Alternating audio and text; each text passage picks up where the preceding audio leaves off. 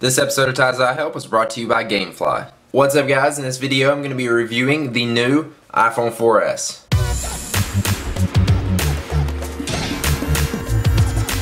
So since the iPhone 4 has been out for a while and the iPhone 4S doesn't really look any different at all, I'm basically just going to be talking about the new features and giving my opinion on those and whether you should upgrade for those features. So we'll start off with my favorite feature, Siri, which is your personal assistant built into your iPhone. You can ask it anything, you can say random little things to it. It's fun to play with, it gives you some funny responses back. If you've seen my video called Playing with Siri, uh, I did a lot of stuff like asking it some questions and it gives me some funny replies back. Uh, and it, it's entertaining, but it does get bored quickly. I've seen a lot of people said that they're going to get the iPhone 4S just to play with this, but it does get bored quickly. Uh, don't get the iPhone 4S just to play with Siri. But Siri is very useful, at least for me. I've been using it a lot in my car uh, when I'm driving down the road to get directions. Like if I'm somewhere I don't know how to get home or I'm wanting to go to a place, I just, do give me directions to this place. And most of the time it worked some of the time it didn't uh, and some of the times it got some of the stuff right and I just had to change a little bit. But it does help out getting directions while you're driving. I just wish that it would read the directions to you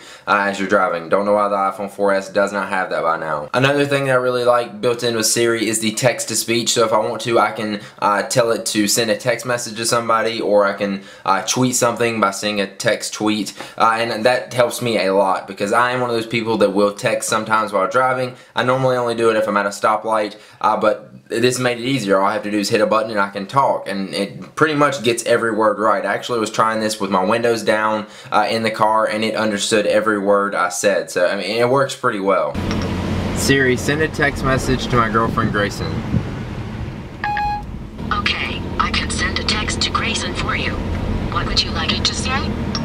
I love you. I'm driving around our neighborhood awkwardly while you're filming me. This is weird. I updated your message. Ready to send it?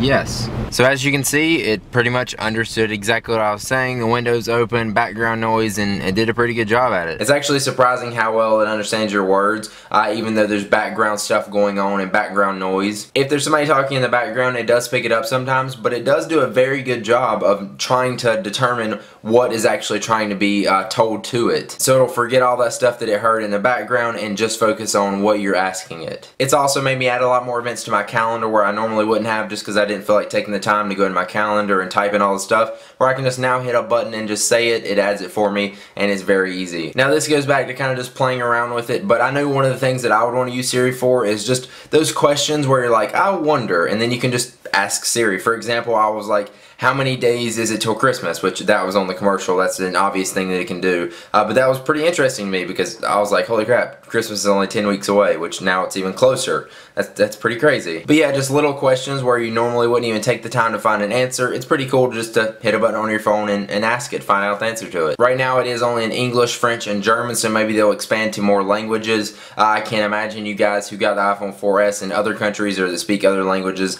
they can't even use Siri. So for Siri being in beta, I think it works fantastic right now. I'm excited to see where it heads in the future and maybe they'll even bring it to uh, MacBooks or computers. Uh, that would be awesome. So overall, I would say Siri is a win. And now let's talk about the camera on the new iPhone 4S. Of course, it shoots 1080p HD video. It's got better white balance, uh, better image stabilization. So when you're actually walking and you're stepping or you got shaky hands, uh, it's going to stabilize the video out for you a lot better, which works really, really well. Uh, now for me, with the 1080p video, I actually didn't get to use this much because with my videos that I record from my iPhone, I don't take the time to import them in my computer. I actually just upload them directly to YouTube from my phone, which still uploads in 720p. I'm not sure why they didn't build a feature in so you can upload the 1080p version, but uh, the 720p version from the iPhone 4S to the 720p version on the iPhone 4 does not look any different on YouTube, uh, so really it wasn't much of an upgrade for me. I don't really want to take the time to import it into my computer to get the 1080p video. But if you do take the time to import it in your computer to get the 1080p video, it looks really, really nice, especially compared to the iPhone 4's camera. Uh, the colors are much better, it adjusts to light a lot better, uh, and it just overall looks much better than the iPhone 4's camera. But for me personally, I didn't get much use out of the video on the iPhone 4S camera. As far as pictures, those look nice. Those are going to be much better because those you kind of want to import in your computer to put on Facebook and stuff like that. Those pictures look much better. Again, better colors, uh, better white balance. Uh, it, it, just overall looks much better than the iPhone 4. With all the new camera upgrades and it being 8 megapixels, you don't really need to carry around a digital camera now if you have an iPhone 4S. The pictures look great. If you're trying to decide whether you should get the iPhone 4 or iPhone 4S or upgrade to the iPhone 4S uh, just for the video and pictures or the better camera, I personally wouldn't do it. It's a hundred bucks more than the iPhone 4. I'm happy with the pictures the iPhone 4 takes as well as the video uh, and that's just my opinion. Some of you guys may uh, think differently about that but I'm satisfied with the pictures on the iPhone 4 now. And now let's talk about speed. The iPhone 4S has the A5 processor compared to the iPhone 4 which has the A4 processor. Both are fast uh, and you will get a few seconds faster on the iPhone 4S uh, depending on what you're doing. Games work a lot better on this. Uh, they look a lot better. They're a lot more brighter uh, and colorful uh, and just looks a lot more crisp. But at the same time, it's only a few seconds. Uh, it's not going to be that much of a difference. If you put the iPhone 4 and the iPhone 4S right beside each other, you will notice a difference. But if you're just having an iPhone 4 or an iPhone 4S alone, you're not really going to notice much of a difference in speed. If you guys see my speed test, I was kind of over dramatic about how much faster it was. Uh, but for me, when I'm setting the phones right beside each other, it is a big difference. But when you're using them alone, you're not really going to notice if it's faster or not. They also upgraded the antenna and the signal on the iPhone 4S. Uh, they upgraded the antenna so you don't have the death grip issue. So when you actually like squeeze your phone or wrap your hands around it and connect the little two antennas together,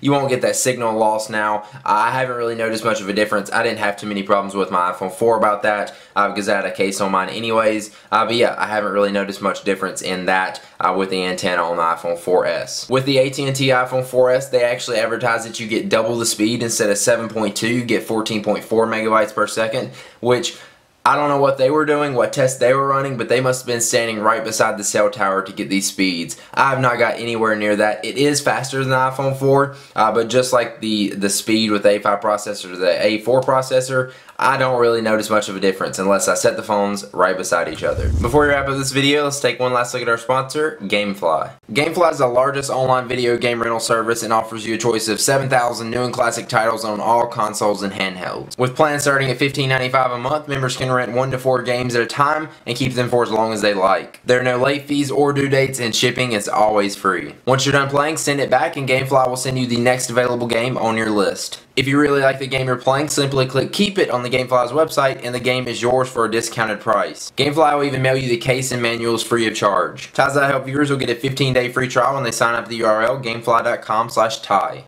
So now for my final thoughts. First off, I'm a tech reviewer. Most of my videos are based on the iPhone. So of course I am going to upgrade to the newest and best thing. Uh, now if I was a regular consumer, would I have got the iPhone 4S over uh, my iPhone 4 or while I'm having my iPhone 4? No, just because it's not that much of an upgrade. Siri, camera, and it's faster a little bit. Uh, it's not really worth it to me, in my opinion, uh, to pay another 200 bucks to get just those features. Now I know a lot of people are complaining because there's not a design change in the two. I wasn't complaining or expecting really there to be a design change. That the rumors uh, were pointing to that, but I'm not gonna not get it just because the design is not upgraded because I like this design anyways. Now if you're somebody that has the iPhone 3GS, the 4S may be the way to go because it's going to be much faster, it's going to be the newest device, newest design, uh, and everything for you but the iPhone 4 may suit you just as well and save you a hundred bucks and not really be that much different. The iPhone 4 will be a lot faster and have better cameras than their iPhone 3GS so that'll be a good upgrade for you. I know Siri looks cool but I wouldn't go spending all the money on a new 4S just because it looks cool uh, because Siri is in beta. I'm sure it has a lot of growing to do and it will grow a lot uh, and it may even be better on future phones. If you're new to iPhones, I think the iPhone 4 is the best bet. This phone for a hundred bucks, that is a great price great phone and you're gonna love it. I'm not trying to say the iPhone 4S sucks or anything, it's still better than the iPhone 4 or any previous iPhones, but I don't think it's worth the $100 more than the iPhone 4 is. But that's just my opinion, let me know what you think about the new iPhone 4S in the comments below. Have you got it yet? Do you plan on getting it? If you do have it, what do you think about it and was it worth the upgrade? If you haven't already, make sure you subscribe to my videos. It's free and it'll let you know when I post a new one like this. And if you enjoyed this video, make sure you click the like button because it helps me out a lot. And that's it. I'll see you guys in the next one. Peace out.